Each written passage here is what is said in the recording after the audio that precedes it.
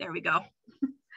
All right, welcome to today's program, everyone. We're really excited today. It's a really special time for us here at Kona Historical Society.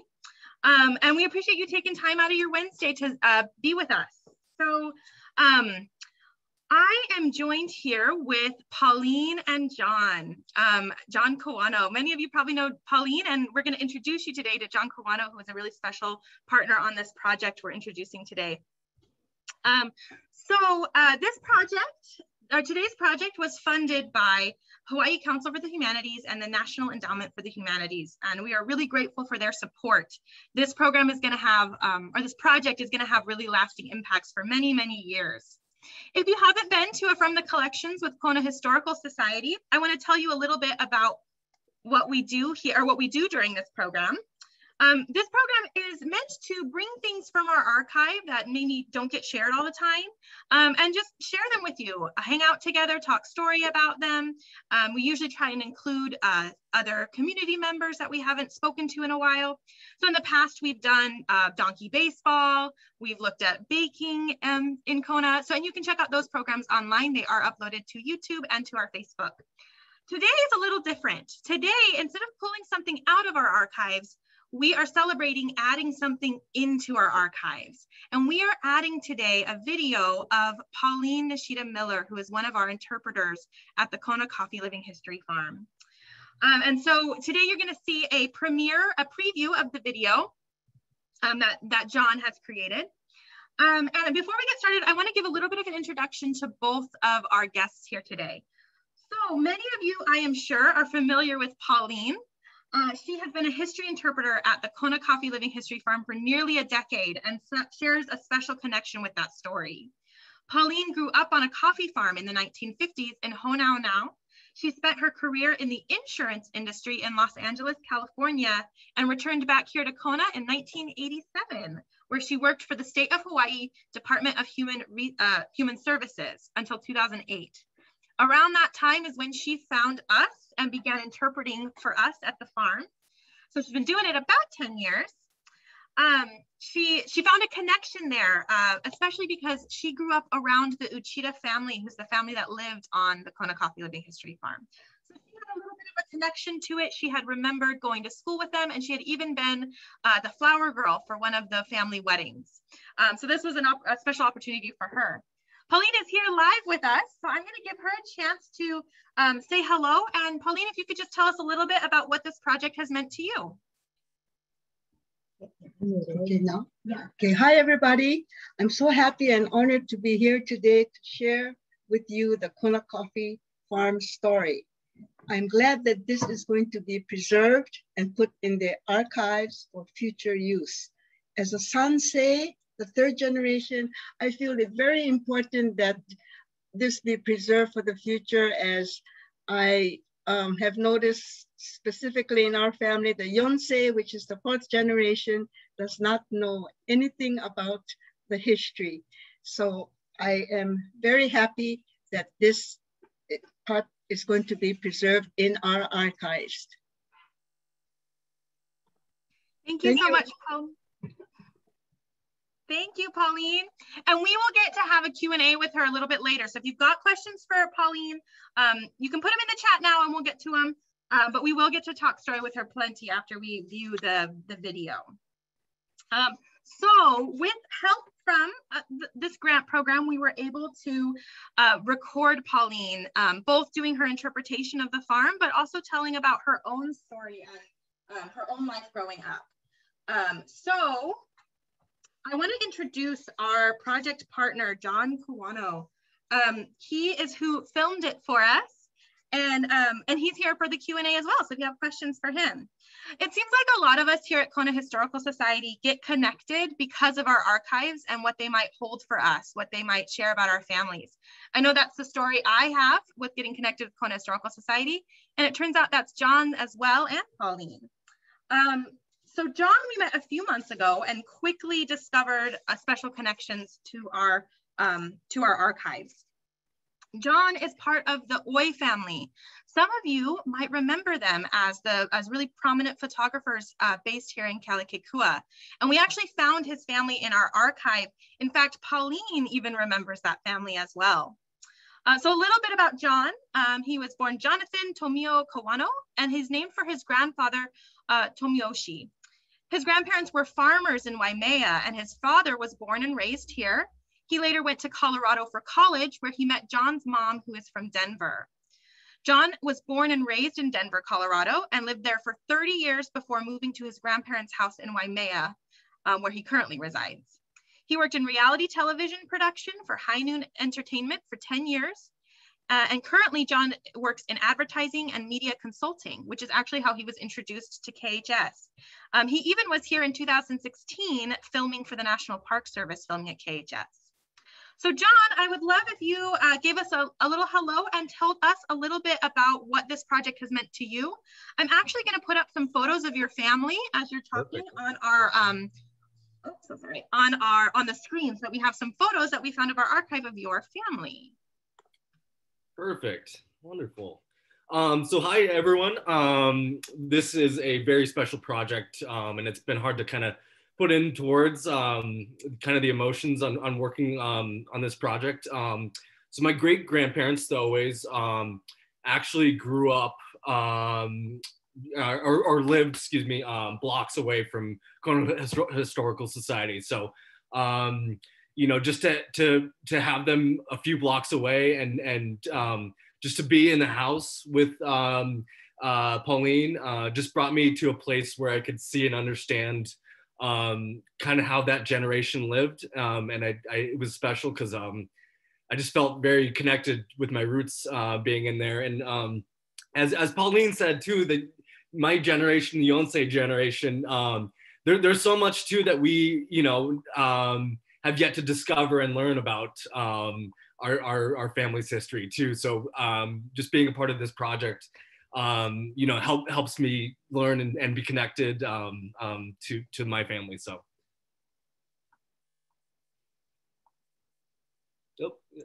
Thanks, Jon. So I wanted to just point out a few um, photos that we pulled from the archive, some that Jon had never seen before, correct? Correct. So we have here, um, oh, let's see if I can go backwards. Oh.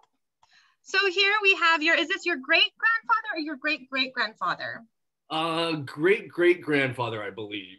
Um, and I yeah. Yeah, so there he is, and he's one of the one of the original photographers in your family, and we had his portrait here um, inside our archives. This other photo, I'm not sure if we'll be able to identify people. We probably need to sit down with Julie in the archive and like take a minute to look at them all. But I wanted to include um, this nice photo of a bunch of Hawaii photographers. They were at a party, um, and it it says in our record that you're that uh, both Mr. and Mrs. Um, Oi were in the photo. Yes, correct. They're they're kind of front and center, I believe. Yeah. Okay, that's what I was thinking. Yep. Yep. Yeah, right there. And then here we've got a photo of that's your uncle David, right? Uh, my my dad's cousin David Oi. Yes. All right. Yeah. Oh, your dad's cousin. Okay, and you knew yes. him, correct? I'm sorry. You yes, you we're we're very close, and and um he so he went to the Air Force Academy, um which is out in Colorado Springs. So we actually kind of grew up with him being uh being Uncle David. Um, but he was he was uh, a big part of our, our, our lives, and we, we definitely looked up to him. So uh, yeah, he's he's definitely a, a, very close person in our lives.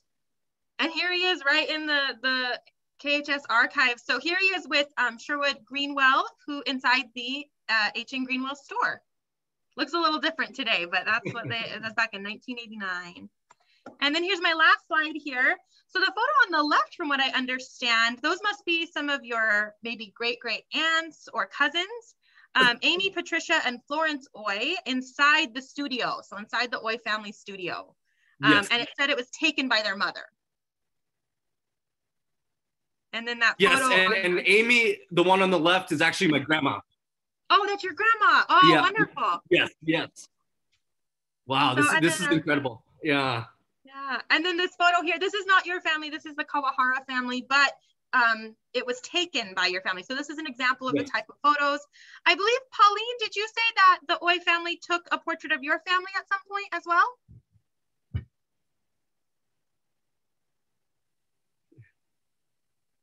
right? Yeah, there you go. Yes, they did. Yes. Yeah. And I still have the photo. Oh, so cool. We'll have to get a copy of that for Jon. So lots of connections made here.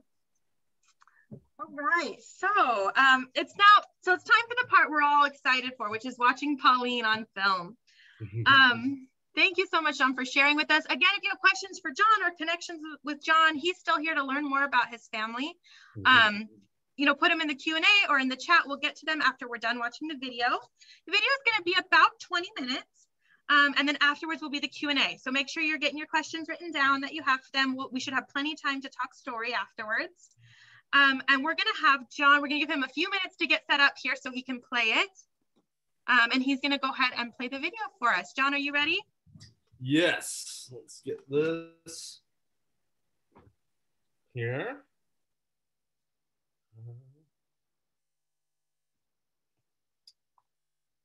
Right here.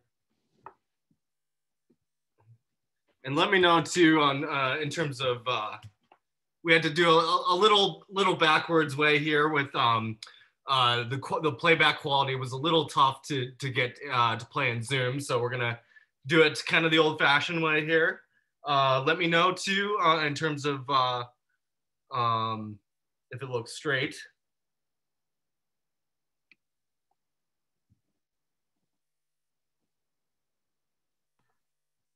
Jon, if you angle it down just a little bit. There you go, perfect. And I wanted, I don't know if you, you probably didn't see in the chat, but you have got some family watching. I do. Yep. Yep.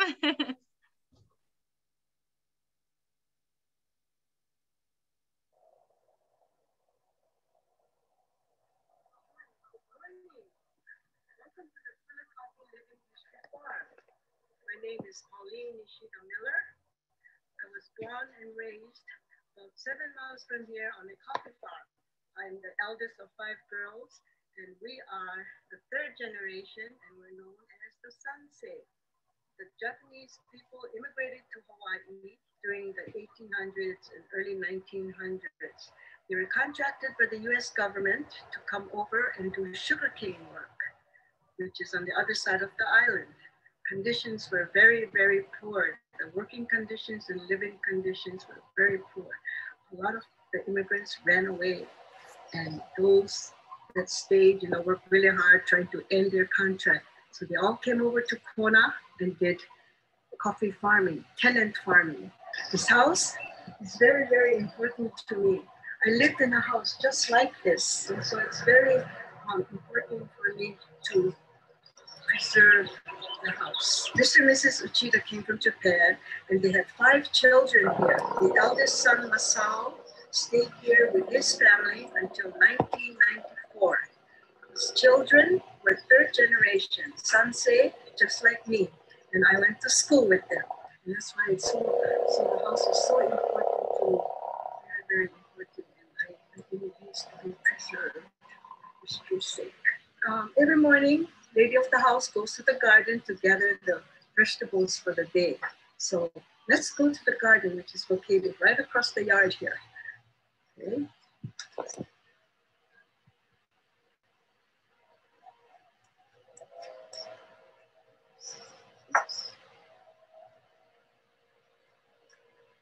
Today we'll be gathering some vegetables. We have some green onion here, which Harvest into, and we also have some radishes here.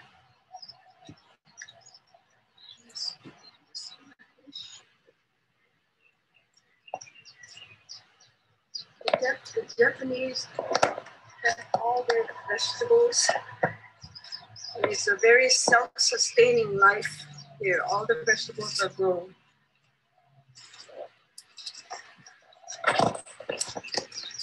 So here's some radishes. And we also have we also have zuiki, which is the plant here that looks like a taro. And we will harvest some of that plant. And we we cook the stalk of it and uh, just cut the leaves off. Can I step over? Um,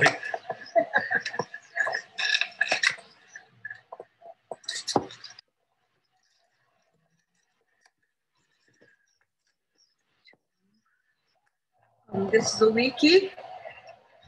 Only the stem is edible. The leaves and the root is not edible. And it's like taro, where uh, the Hawaiians eat taro, and the root is what they make the taro from. But zuiki is edible, only the stem. They all look alike, so you have to know the difference. Yeah.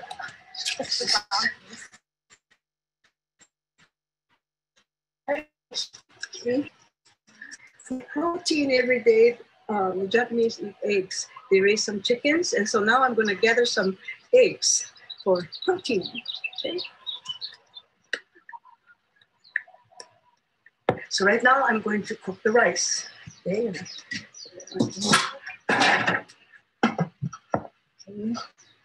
And I'm going to light the fire to cook the rice.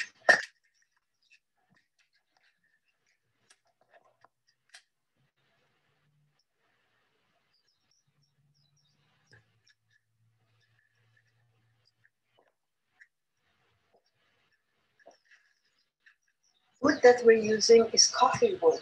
We never ever have to look for coffee wood because when the farmer trims the coffee trees or prunes the coffee trees, after pruning, it's all cut up and laid in a coffee field. And it's the chore of the children in the house to go out and bring back all the wood to use for cooking and also the bath.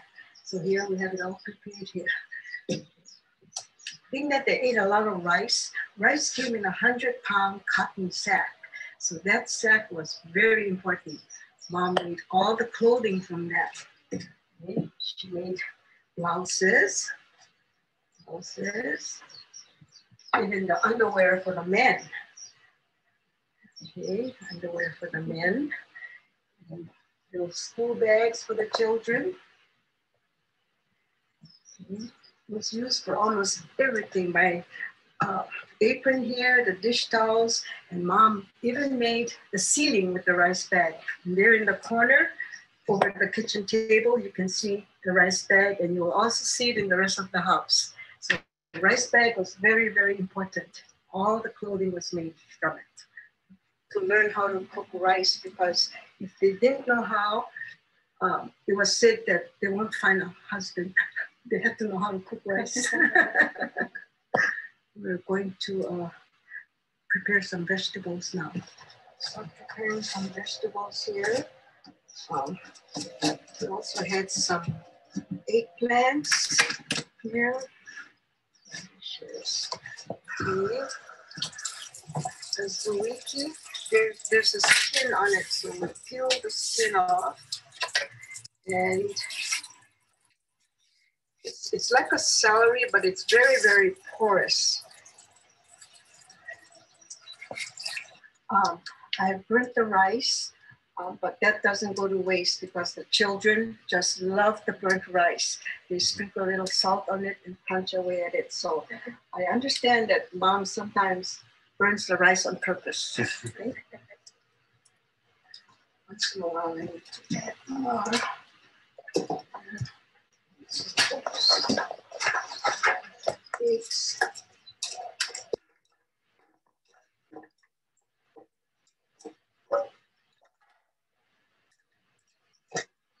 This will simmer a little bit and it should get hot enough so we can fry, make egg omelet.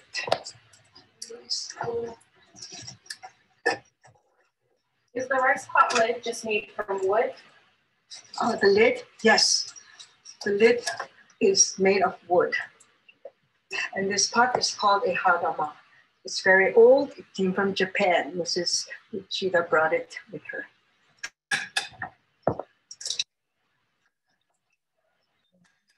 Very nice, fresh eggs. We use the green onion, spring onion, and cut a few of it to uh, put in the eggs.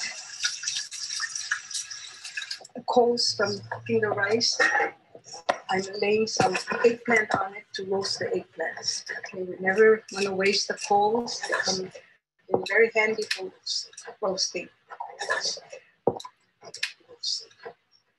Potatoes or corn can be put on it too. So we'll just leave this here for a while and it will roast. I can start making the egg. So this is um, an iron skillet and this is Uchida cooked almost all of the food in this iron skillet. So all they had was the rice pot, the iron skillet, and a little uh, pot there.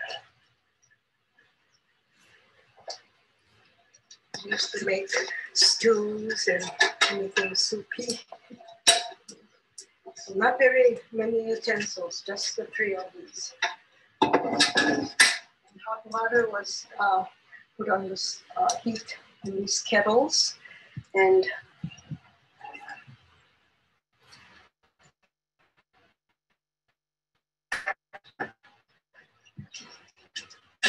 so we have our egg.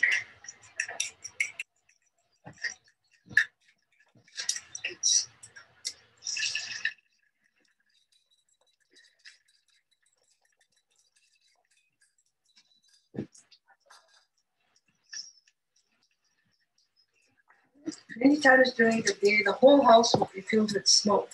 So we'll be coughing. There's no vent or anything here. It's just natural here.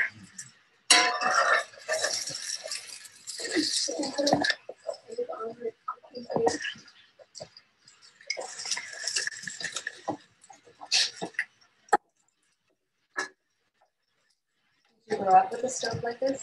Um, my grandma had a stove like this. We we had a kerosene stove like that. So that is a kerosene stove, and my family had one of those.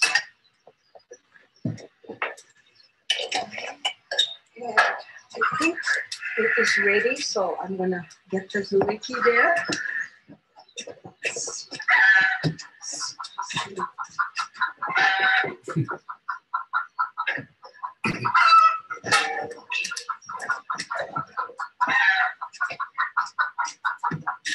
I had a little bit left over of the green onion for the egg, so I'm gonna just cook it together with the zuiki.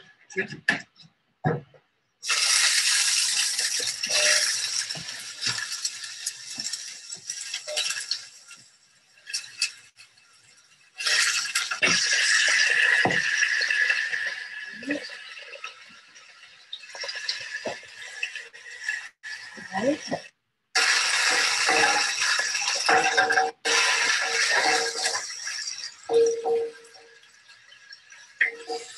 So I can put it in that dish there on the table here, and then over here.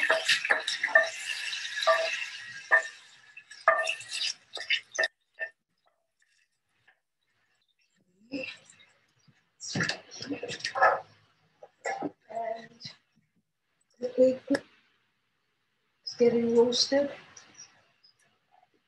So I'm going to skim it.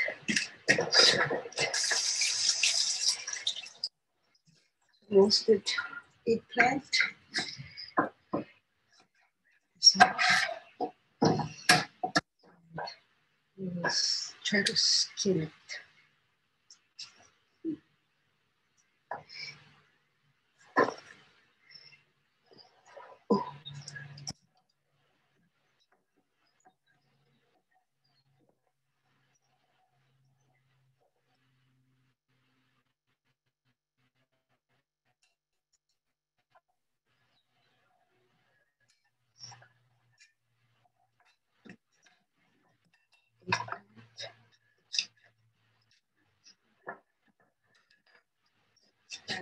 And again, in cooking is soy sauce, you sprinkle a little bit of soy sauce on this. Okay.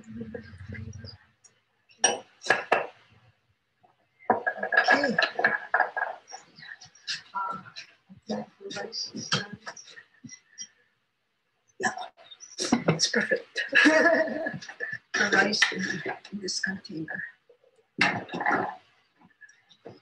If we want to move that pot, they invented this little tool okay, to move the rice pot. This is how it works. Isn't that great? Very, very, very simple. In this case, I'm taking this over here. Oh, the rice is so perfect. I'm so proud of the rice.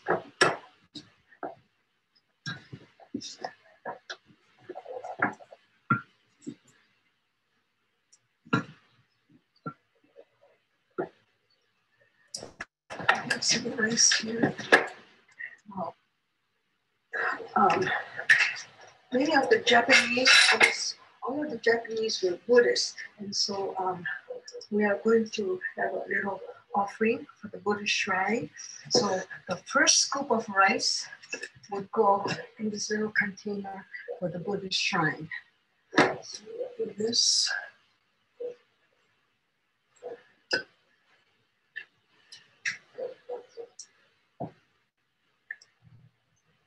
The lady of the house has everything cooked and stuff. She will then make some coffee. Drinking tea. So a lot of the immigrants who came, they were farming coffee, and so they had to learn how to drink coffee also. My family never drank coffee. My mom and dad never drank it. My dad, though, in his later life, started and he just loved it. And I drink it now, but when we were growing up, we lived on a farm but never drank coffee.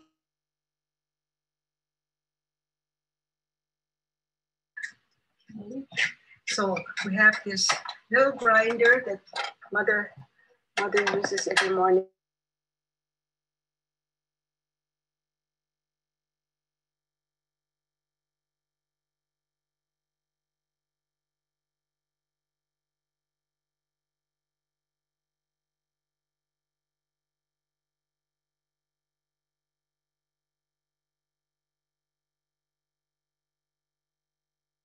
and there's some so this also serves as an alarm clock. So when the children hear the grinding, it's time for them to get up. Okay, and, those that lag behind will probably smell the aroma of the coffee and then get up. Okay, so that's how the coffee is made. Nice way to wake up. We have two um, balls and then some eggs every day it's egg omelet. Eggs. There's some zero here.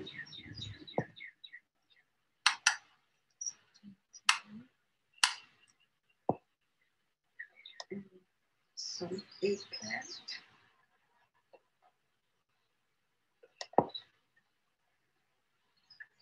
And I have some uh, reddish sticks. So just stick that there and then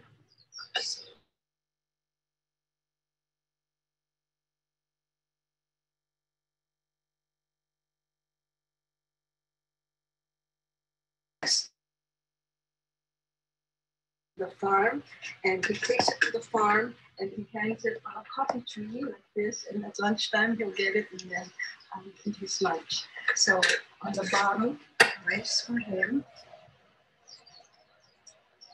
Okay. Let's put in here. And it kind of keeps the rice from getting spoiled also, right? Right? And um, probiotic is the section of the lunch pail. And we would put the same thing that we did for the children. So, something.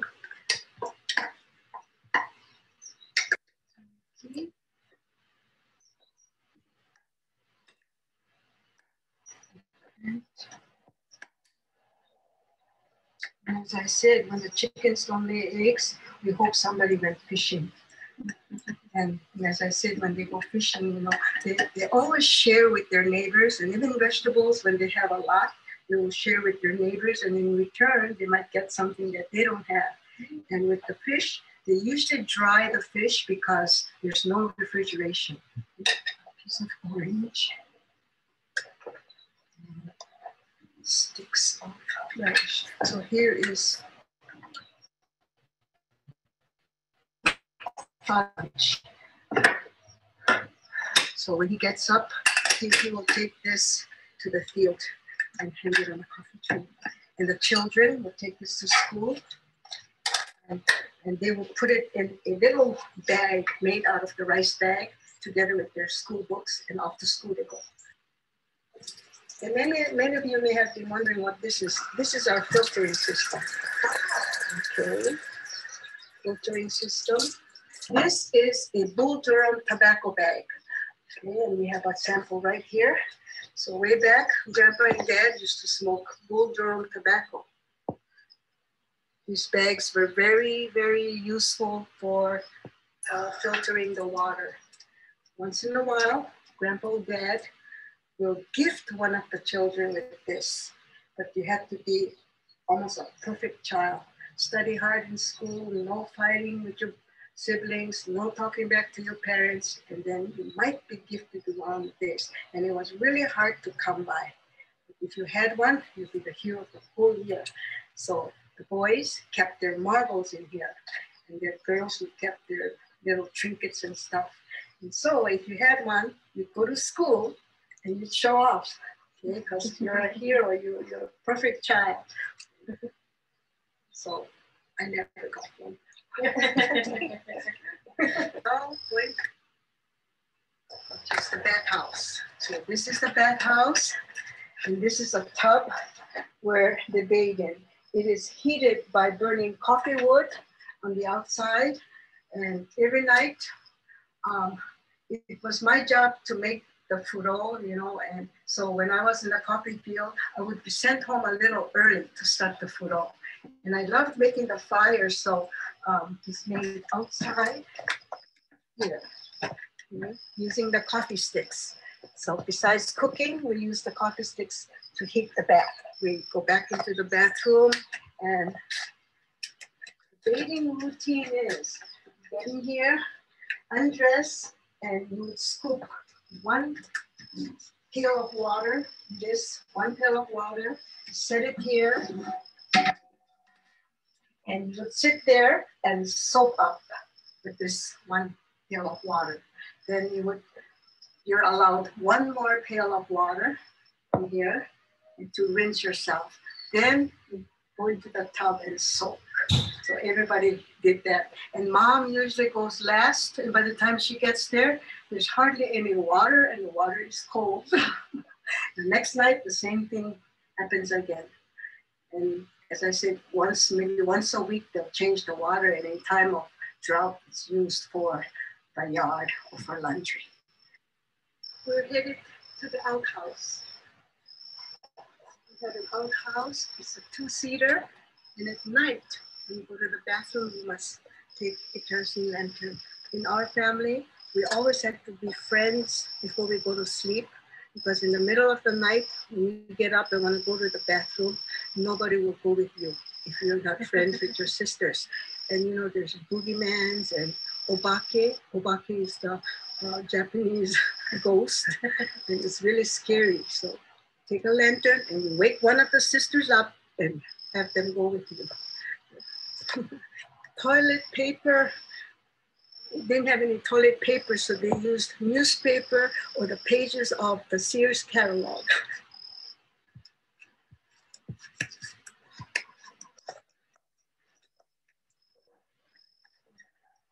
this is our outhouse. it's a two-seater. Why did it have two seats, you know? So more than one person can go. More than one. I mean, they were all two-seaters. This room is a sewing room. And this is so special because there's a room dedicated just for sewing and ironing. This is the Uchida would sit here to do her sewing after she's done with all the kitchen uh, work. Mrs. Uchida would sit here to do her sewing after she's done with all the kitchen uh, work. And we like to think that she took a moment and just sat here and relaxed and enjoyed the scenery. There are no tall trees here, so she could see the ocean and she could feel the trade winds, the sea breeze come and refresh her. So this was a really nice spot where she sat did her sewing. Did she sew just for her family, or did she, or did would, would they sew for other people too? Uh, oh, mostly for the family, but um, she did sew for other people to make a little extra money, and she even did some ironing for other people to, to supplement their income. Things like blouses were made, blouses like this, even even the underwear was made for the men. It's the rice bag ceiling they still have prints on them. So we're in the parlor now, and I'd like to tell you about the pictures on the wall. The first picture is of a mountain. A lot of people say that that looks like Mount Hood, okay? but uh, the family here probably saw that picture and it reminded them of Mount Fuji, so they framed it and they look at it and think of Japan, their home. But I think it's Mount Hood in Oregon. This photo is a Japanese school graduation.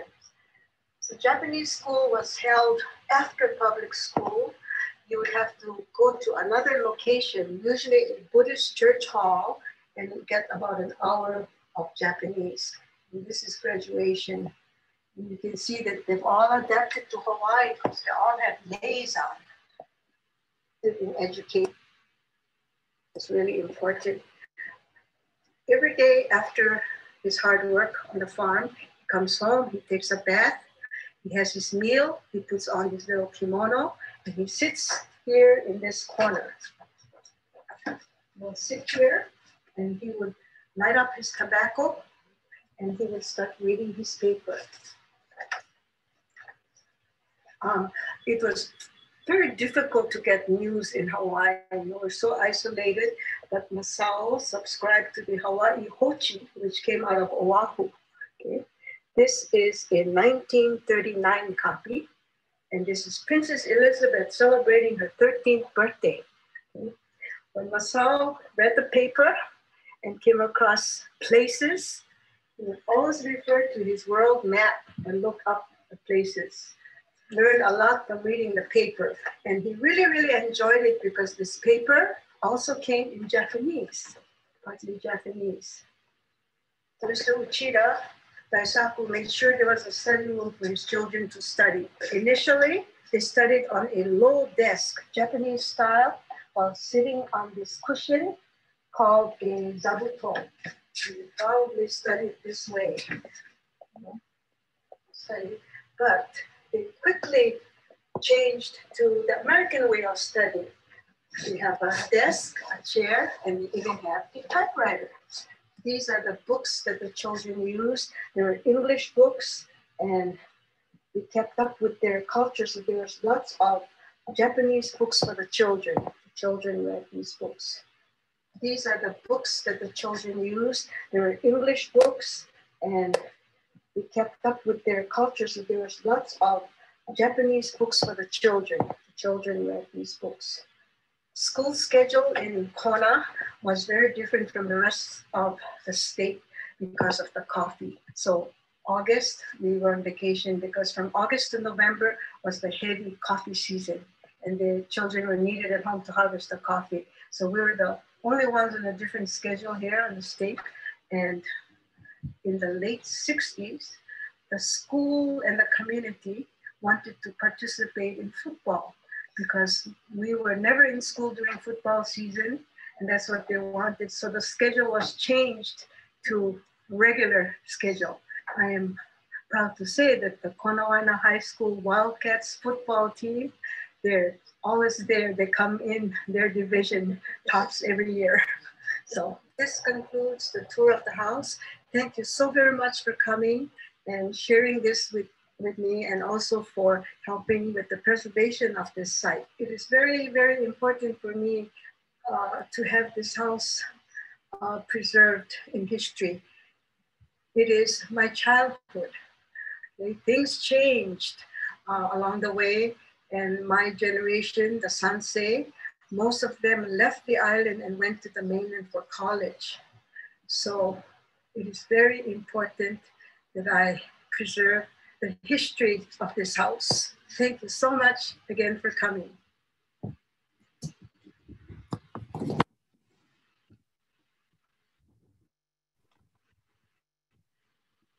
Thank you, Jon. Absolutely. Pauline, just listening to Pauline puts me right at ease, and I'm sure I'm seeing all the comments from people. I'm going to make sure to read these out to Pauline. Um, so I do want to say, Jon and Pauline created such a high quality video for us that Zoom isn't even able to stream it clearly. So I know pr probably some of you had a little bit of pixelation. Don't worry, this is going to be up on our YouTube at a full resolution. We just wanted a chance to premiere it together and to talk story, to reminisce, to ask some questions of Jon and Pauline and make additional connections. So check back on YouTube um, later on, probably next week, we'll have it up there as well. Um, all right, so I actually only see thank yous, no questions yet. Um, so let me read you some of these uh, thank yous, Pauline, and to you, Jon. People want to know. So um, I want you to know, Pauline, your sisters are tuning in from California. Lena and Marcia, or Marcia, sorry. And then um, we have a comment that says, Pauline makes farm life stories so relatable because of her natural style and personal references. Great job. Great demonstration to Pauline. And let's see, on Facebook, we, you have some old coworkers uh, letting you know that they love watching you. So now's the time we can, we have Pauline all to ourselves, you guys. I can see there's a lot of people still on. We have her all to ourselves along with Jon, and we can ask as many questions as we like. Um, so if you want to put them in either the Q&A or the chat or on Facebook, we will get you, we will get your, get your questions, whichever way you ask them. Um, I had a story that I, and I wanted to see if Pauline could tell. Um, so the video that we showed today is only a portion. Um, we ended up getting a lot of footage of Pauline and we'll end up with a video that's an, of an hour long of Pauline. There's so much to share in that house. Um, but one of the stories Pauline and I talked about in the process of filming was about um, how the coffee families would, the coffee farming families usually during coffee harvest would work every day. But Pauline told me that her family didn't. They took a day off to go do something fun. What did your, can you tell that story, Pauline? What did your family do on your guys' day off? Oh, sure. Yes, even in the midst of coffee season, when everybody worked seven days a week, on Sunday, we did not work. We, we were Catholics, so my dad would go fishing early Sunday morning and we would go to church with my mom. And after church, we go home, change our clothes, jump in the Jeep, and my mom would take us to the beach. And there were five of us, five girls, and we were like wild animals. Uh, take, riding the Jeep down to the beach. And as soon as we got there, we would jump out and jump in the ocean and we would be swimming all day long. And in the afternoon, we'd wait for my father to come in with his canoe because he's out fishing. So he comes in and he has dinner ready. And so now it's time to go home. So mom and dad says, okay, kids, let's go home. Then it takes half an hour to find us because we dive in the water and we hide. Oh. We don't oh. want to go home. But we had Sunday off every day of the year, even when it was full coffee season and people worked on Sundays, we had the day off. So I feel very, very thankful for that. we got Sunday off. But we worked hard the rest of the week. Yeah, I'm sure you had to make up for it because all the coffee had to be picked one way or the other. Right. Um, we had one person who put in the Q&A, he just wanted to say that um, this story reminds him of his mother's stories. This is from Tom. His mother's stories growing up in a farm in Riddle, Oregon. I think that's one of the cool things um, about the farm is we find people with connections all over the place. Um, mm-hmm these houses remind them of their grandparents or remind them of their families or just the work ethic or the way that you know the way that um, you had to be on a farm reminds them of their own families wherever they're from hawaii or otherwise uh, so thank you for sharing that with us tom jon did you have any questions for pauline did i yeah, anything you're so I know we've spent so much time with her, you and yeah. I. Oh, oh my goodness. How did you get to be so amazing? no, you were amazing filming this. yeah, yeah. I think that's one of the things that I should uh, throw out there too. Not a question, but Pauline is like a, a producer's dream in terms of like she doesn't. You don't. I, I didn't need to do anything. Literally, just hold, hold the camera. Uh, so I think everyone should know how how how amazing and how easy it was to to do my job. yeah, we got most things in one take. yeah, yeah, yeah. Yes, well, well, I, I'm so happy it was done because I think it's so important to preserve the story. It's a yeah. wonderful story, isn't it? Yes, absolutely. Jon, yeah. Absolutely. Huh? Yeah.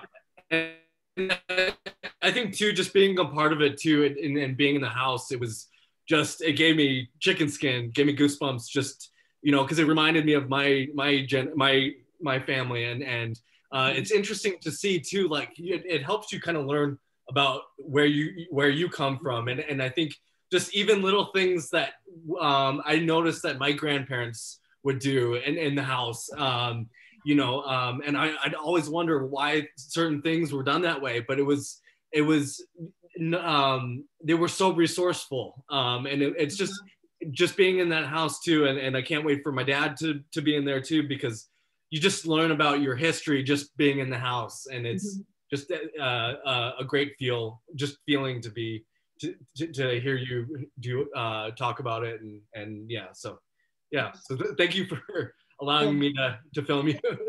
Thank you. Well, it's been real fun for me because I've lived that life sort of, and to to relive it and share it with people, it, it's so uh, it makes me happy. Yes. I, I want to share it all. yeah. yeah.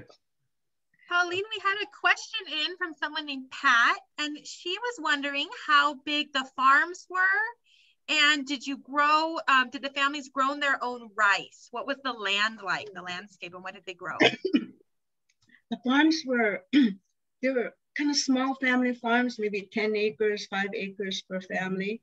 And we did not grow rice. I, I myself thought rice came from Japan, but it comes from California.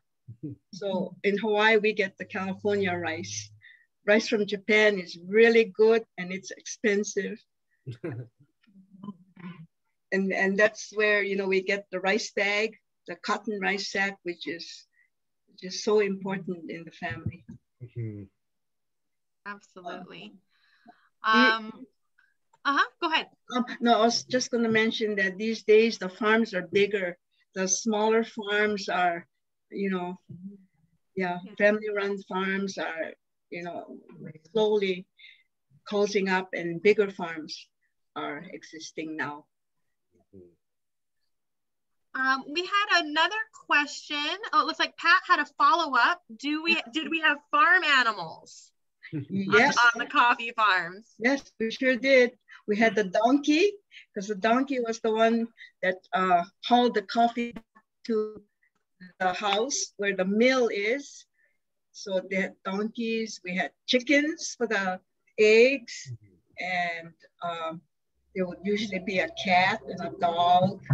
Um, my dad had a horse also. I, I don't know really what he used it for. He would just ride it around the property once in a while. And some families would have a, a cow, you know, just just for their own, yeah, and milk, milk. Um, cat, yeah, cat for pet and dog, yeah. The donkey was the most uh, valuable because it hauled the coffee way back. And did your family have a donkey, Pauline? Yes, we did. We oh. did. I, I remember the donkey oh, okay. in the later years. So the donkey was already in the pasture. We weren't, uh, my parents weren't using it to haul the coffee because they had a Jeep. The Jeep. Jeep. I just loved that Jeep. We went everywhere with the Jeep and um, it lasted forever. And they were the old army army jeeps. After World War One, there was a surplus, so all the farmers were able to uh, get an army jeep that replaced the donkey. Uh, um, I, I drove the Jeep uh, without a license for a very long time on the farm. Somebody had to drive the Jeep to pick up the coffee. So I was the driver of the Jeep for a long Someone's time. Someone's got to do it. Yeah. That's a good way to learn to drive. I bet yeah. roads were no problem for you after uh-huh. the farm. Right. and one day I flipped the Jeep over because the farm there's no real roads, roads, and it just flipped over.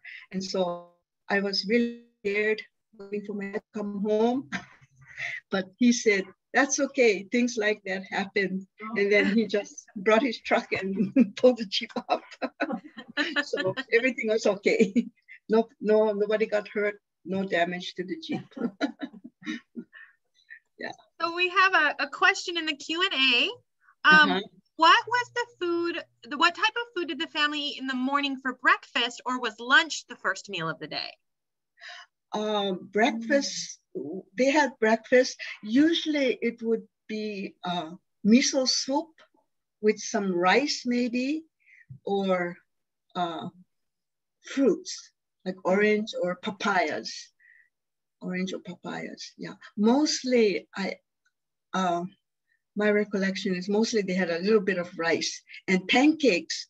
Uh, my grandma used to make pancakes also, so it would be that. Small breakfast. Small breakfast, yeah. yeah. Well, two big breakfasts makes me sleepy. I wouldn't want to go work like, with a big breakfast. There's a really nice reflection here. This isn't a question, but a really nice reflection I wanted to make sure you heard. This is from Lori Uchimura. She says, Thank you for saving such an important piece of Kona heritage. It reminds me of the years when I lived with mom and dad on Uchimura on their farm in Kainaliu.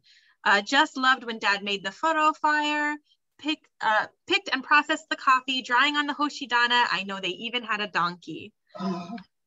Such a oh, shared story, huh? Nice. Yes, I'm so happy to hear all this. yeah. um, and then, oh, we have another question from Pat. They're asking, did everyone work on the farm?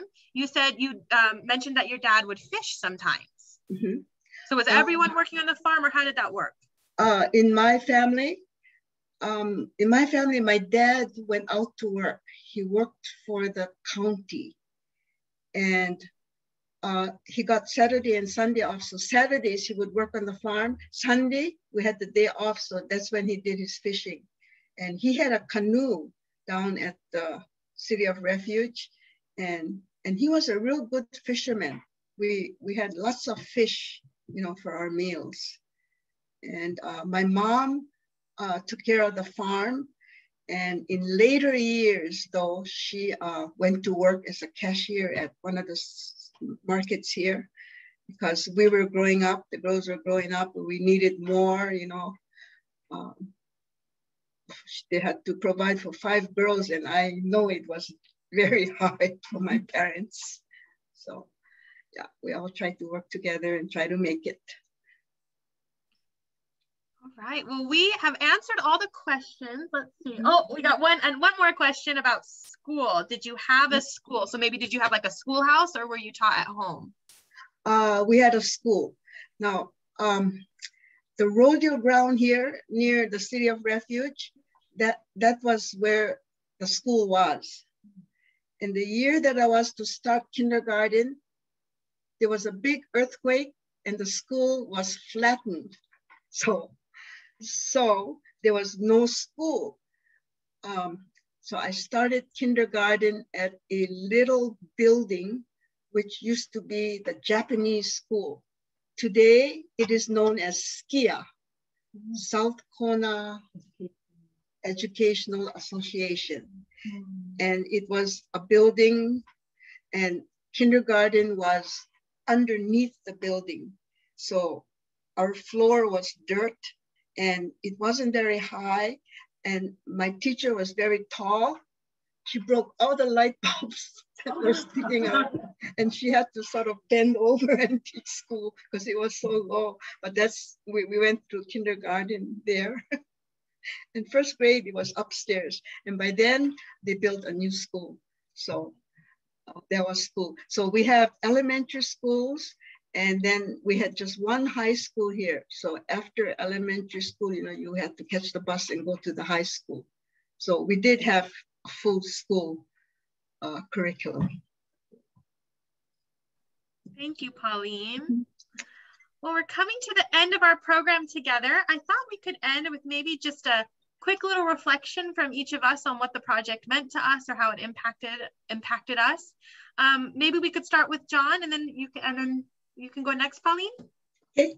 okay. Well, absolutely. Um, yeah, kind of how I said earlier. Earlier, um, you know, this is kind of they they say legacy project, but I think really that would be kind of the defining word I would use um, for me is, is, is doing something that you know um, it, it, doesn't feel like work or, or doing you know for me it's just like something that is is so important to um you know not everyone gets and, and understands the the value of of uh, tracing your, your roots and i think that's um, something that you guys um, at, at Historical understand and and do such an amazing job with is is helping people connect to their their their roots and and um, understand the, the, stories of the generations that came before. So um, and and for me, I, I, feel like I'm just just opening up the books and and uh, really starting to learn about um, you know this side.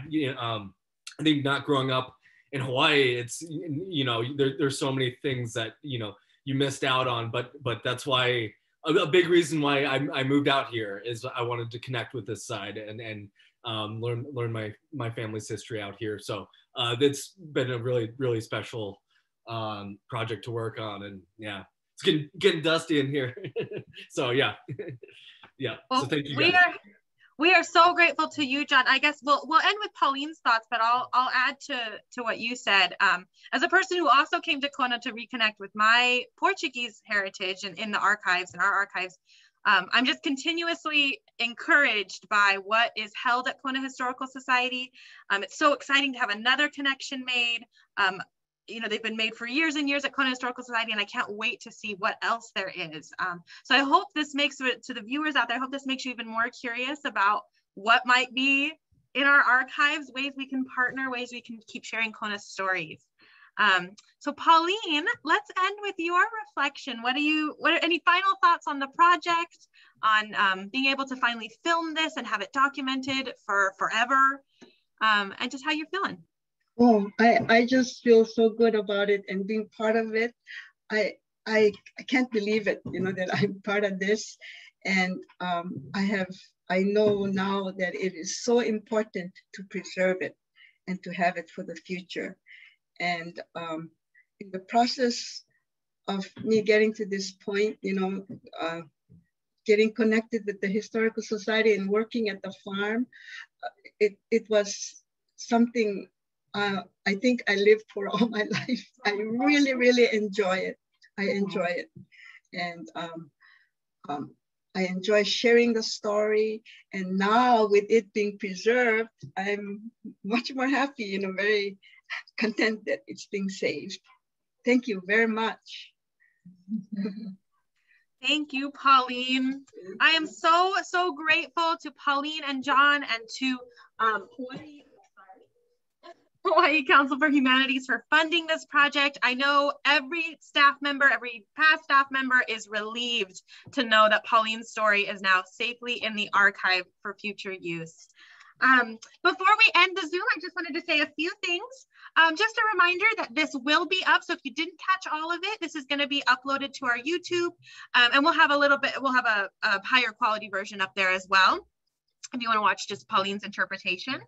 Um, so you can check it out there uh, probably early next week or on Facebook right away. It'll be uploaded to Facebook right away.